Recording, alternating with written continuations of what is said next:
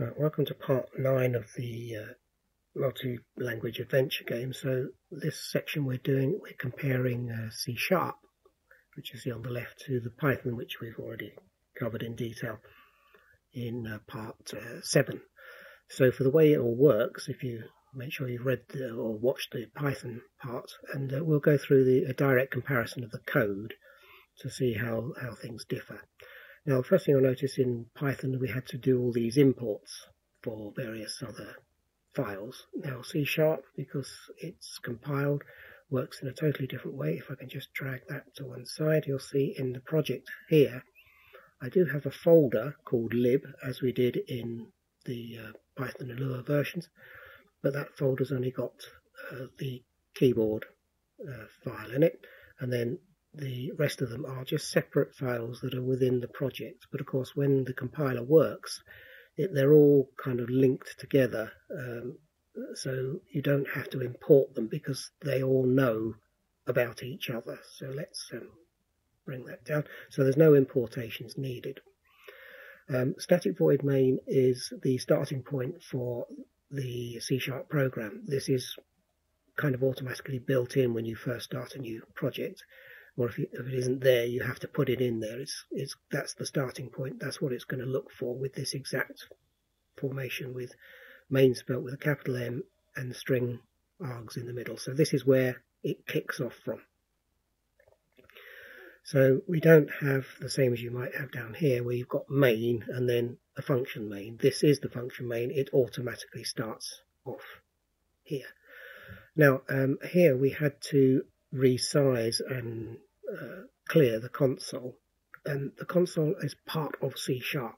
So you have a lot of stuff you can do with the console. You can change its colors, you can change its size, shape, all, all kinds of clever stuff. So we don't need a, a console library with this one. Uh, that's why we've only got a keyboard file here. So this one, you clear the console. Um, and then again, we had this um, uh, if game load game. So same as before, if, except you have to put brackets around if statements.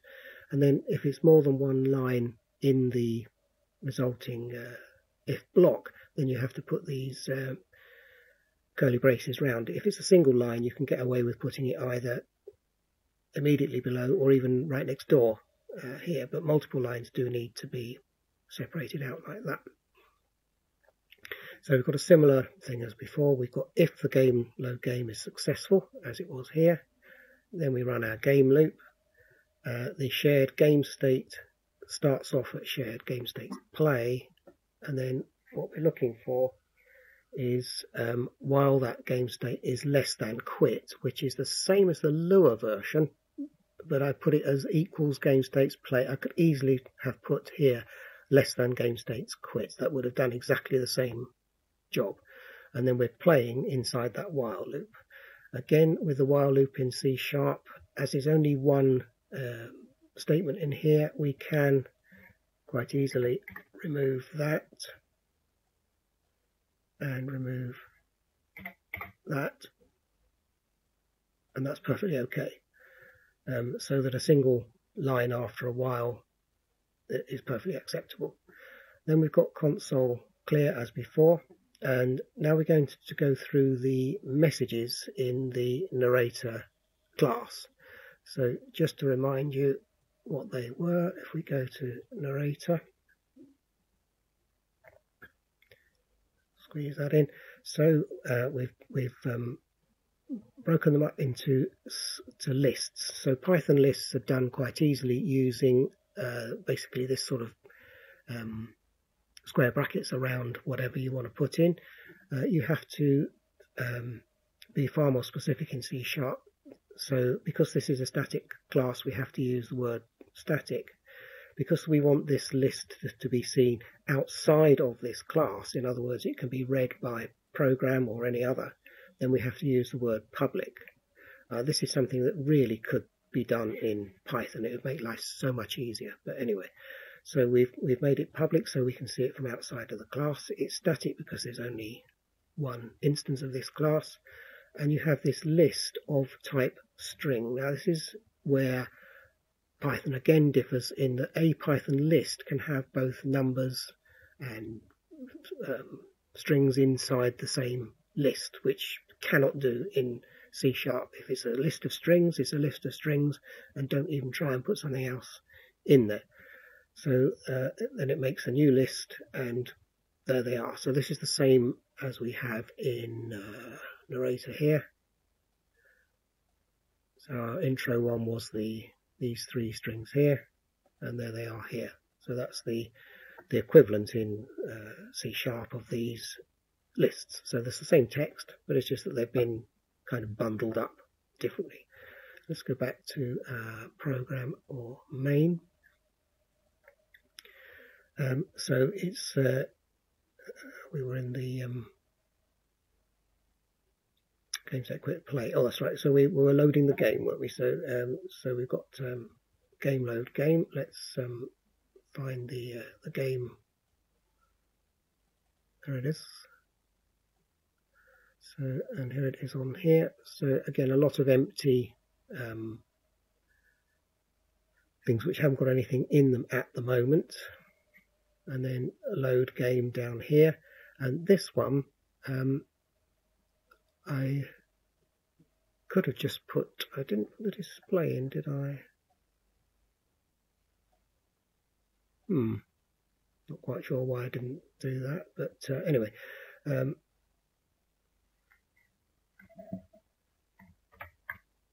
so let's do that now. Uh, and again, this shows quite a nice feature of uh, Visual Studio 2022. I want to call the display intro um, function. So if I type there, it's I've only typed one character and you can see it's already say, showing me, oh, I think from my artificial intelligence you might want to display the intro. So I will do what it says on the tin there and press tab tab and that line has been filled in for me. Uh, this is new in Visual Studio 2022 and it is really good. I, am uh, very impressed with it.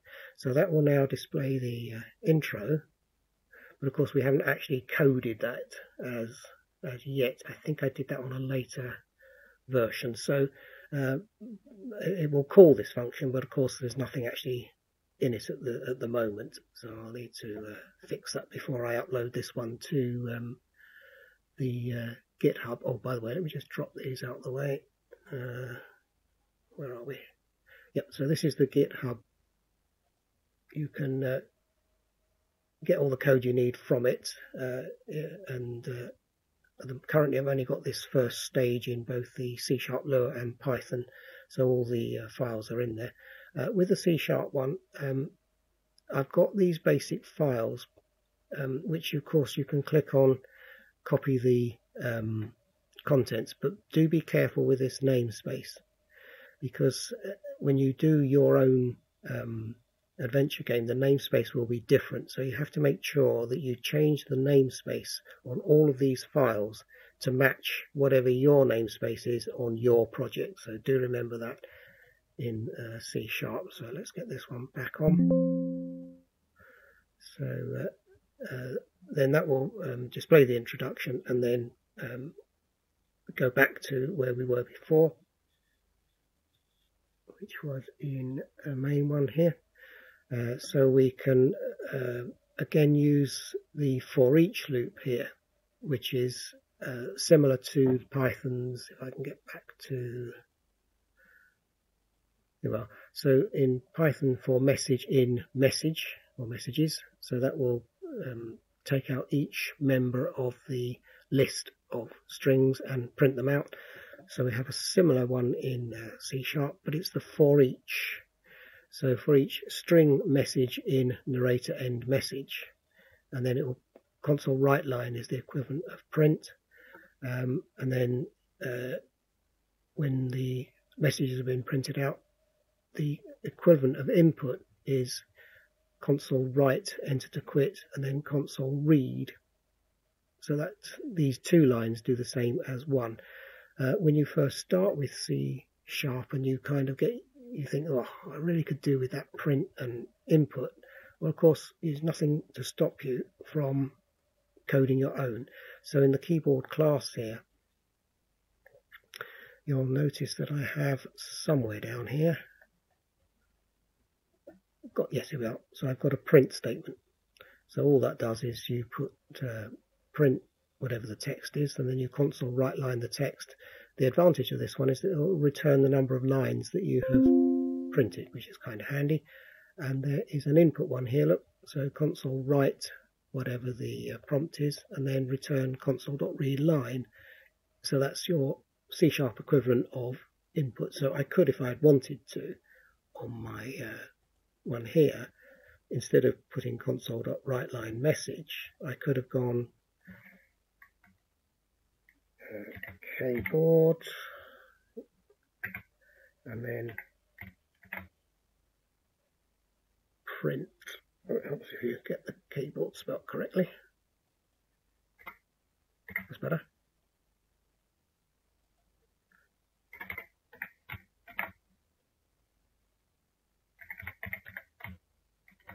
And uh, that will then print the message. So I just need to um, um, sort out the fact that it's not finding the keyboard at the moment. It's probably because I've got the uh, the namespace wrong here, as I was saying about uh, a moment ago. So if you've got the adventure layout, and then you need to make sure that that is the same on all of the files.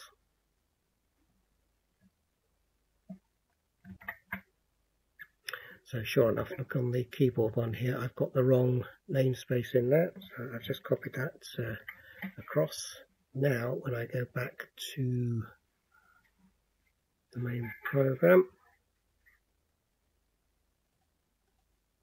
and now my keyboard print has come up fully. It was, uh, it knows where it is now, simply because I'd got the wrong uh, namespace. So again, where we've got this console write, console read, I can, if I want to now, just put in uh, keyboard dot input,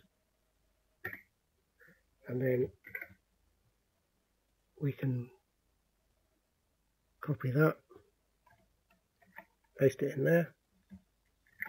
Don't forget to put a semicolon on the end, and that has now done exactly the same as these two lines here and we can delete them. So that will now um, allow us to run. Um, I'm hoping I haven't got any more mistakes. Let's just save it and run it. We'll see if we can get this one to pop up. Okay. Yeah now of course it didn't dis it's worked but of course it didn't display the uh, introduction because I haven't yet coded it. So uh, what I'll do is I'll just pause the um, video for a second, put that back in, and then we can make sure that it's all running properly. Right, so I've just pasted in the uh, missing code here, so we'll just start that up. So we've now got the most uh, epic game adventure. Thanks for playing Enter to Quit, just as we did on the Python version. So let's just quickly check out the equivalent in the display intro compared with the Python version. So um, as with the Python version, we're, we're supplying it with a list of text. So it's list string intro text. This one just uh, intro text. Clearing the console as before. And then again, we're trying to find the longest uh, length here by just going for each uh, line inside our list of strings here. Uh, and then finding the longest, checking whether the uh, length is even or odd, um, and if it's uh, uh, then we're um, adding 12 to it, and then drawing out this um, string uh, using um, the, the, kind of C sharp way of doing it, which is to produce a new string consisting of this character. Now you'll notice that we've got single quotes around this UTF-8 character. C Sharp is very precise. Uh, you can only use single quotes around a single character. This is the car data type. Now, it doesn't matter that this is a UTF-8, it's still uh, a car. Um, and then we can create a new string of that character multiplied by whatever the size is. So uh, if we had 56 of them, we multiply 56 of those and then stick on the ones at either end. So that works pretty much the same as the, um, the equivalent one in uh, Python here. And again, when we're printing out the box, it um, prints out the top um, line first, then um, goes through each of the uh, of the text that makes up the uh, introduction, and then prints the bottom line, sleeps for three seconds, and clears. Now you'll notice I've got kboard.sleep3 here. Um, sleep in um, C Sharp is done th through um, thread.sleep in milliseconds, so that will be 3000 seconds. But just to keep it compatible with what you're used to doing in Python, I've put kboard.sleep, which if I show you what that does, uh, where are we? Here we go. It checks to see what amount you've put in. If it's less than 100, then it kind of assumes that you're typing in maybe up to 10 seconds and therefore you'll need to multiply it by a thousand to get it into milliseconds and then you use the thread sleep as normal. So that will sleep for three uh, seconds there. Let's go back to program. So uh, yeah I think that covers um, pretty much the the C sharp way of uh, doing things so what I would suggest is to get you started on whichever version or which even if you're doing all three um, maybe download the um, the files from GitHub so that you you've got kind of a basic game that all the all the stuff is in there.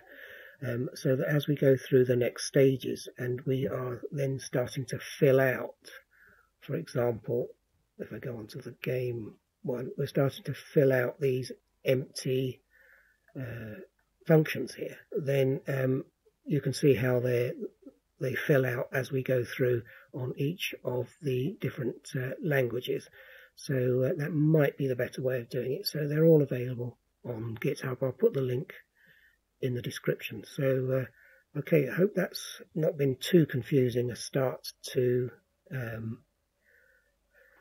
to your learning processes here. Um, let me know if in the comments if you think that a direct comparison between one language and the other, especially starting with Python, which most of you will perhaps have come across already, is better than just simply trying to step uh, through it.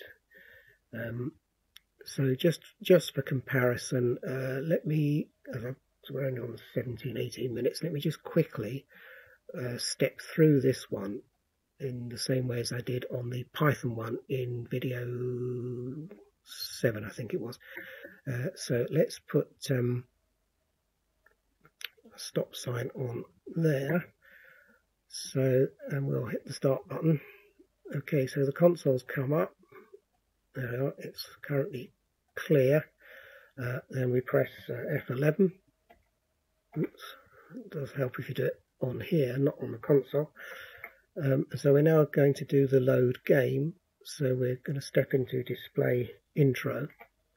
And then if I hover over narrator intro, we've got, uh, you, you, can see there are a count of three. And if I click this little arrow, it shows me what the three contents are of that uh, list. So we've got these three, the most epic adventure game ever, coded by Inksaver, Can You Escape the Dungeon? So they've got quite a nice neat way of showing you what's inside the uh, list, which is dead handy. So we'll press uh, F11 again, and that will take us up to the display intro. Just see if I can move this to one side. It's a bit annoying. Uh, okay, so uh, we're at this line here, number 46. So there's our intro text again. We're going to clear the console. So if we go down to there, that's cleared it. We're setting this size variable to zero. Uh, because it's C sharp, you have to specify the type of variable that you are storing into this um, integer. And then we're using the for each loop. So for each string line in intro text, well, we know what the intro text is. It's those three lines. So when I first press this, it will look in intro text, take the first line in, and now the value of line is the most epic adventure game ever. So that's what we're going to be printing out. Uh, sorry, we're not printing it just yet. We're just checking the uh, size. So the line length is 34 and the um, size currently is zero because we set it to zero. So this should set the size to 34, which it does. Then we're going to loop through again and again final time and size will now 34 is the longest length there we're checking is it um, uh, an even number which it is. Now we're going to add 12 so we're currently on 34 so we're going to uh, add 12 to that. So size is now 46 and as before we're now going to make this uh, new string to make the box top with a corner UTF-8 character. The series of uh, these characters across the top for 46 characters and then a final one. So if I press F11 now, um, uh, that will get that one box top. If I hover my mouse over it, you can just about see it there. Do the same for the box bottom, F11 there, which is the underside one. And now we're going to write line the box top. So that will print it actually on the console. So F11 again. There it is. Let's just slide that out the way. So we've got it written on the top there. Now for each line in our intro text, we're going to format that line using uh, a, a, separate little function down here. Now in the Lua and um, Python versions, this was a private function that was within the display intro function it, at the moment, the current version of C Sharp that I'm using won't accept that you can put that inside another function. It needs version 8, I think it was, it said when I tried to do it. But it's obviously something that's being developed and, and will no doubt be available fairly shortly. But at the moment, on this version of C Sharp, I couldn't put that function inside this one. So uh, it has to call it separately. So let's um, press the uh, F8. So we're going to take the line and then we're going to do the format line which will bring us down into line 68 there it is. Um, and again it's checking the text length. And then we're making this filler con consisting of space character multiplied by the length minus the length of the character. So the, the overall length is 46 characters text length 34 so we're making a string of around half a dozen size. Let me just press F11. So there's our filler look. Uh, it's about four, maybe five spaces there. And then we're having filler, text, and filler all joined together using the dollar sign, which is the equivalent of the Python uh, F string. So F8 there. And then we're going to print it out. So it appears up there. And we're going to do that for each of those lines. Format it and print it out format it and print it out. And then finally, we're going to print the box line box bottom, which is that one there, and then clear the console.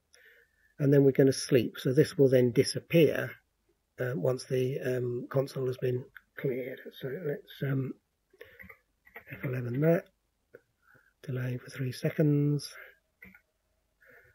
and the console's cleared, and then we're back to this uh, game states is now being set uh, to um, 1 and we'll go through to the play function. Play just tells it the game state is quit which means that we come out of the play loop, clear the console and then we're going to print whatever's in the narrator message which is thank you for playing. Remember to smash the like button. And we're now asking enter to quit. So there we go. That's how it runs through in C Sharp. Uh, I obviously haven't set this console to a higher resolution yet, but uh, that's why it's slightly different. Yes, it's on 24. I think I set the other one to 28. Let's do that.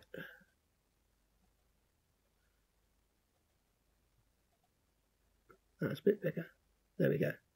Makes the text a bit more readable. So, okay, so that's the um, C sharp version of our kind of layout side. So we'll move on now to the, the next stages in our game.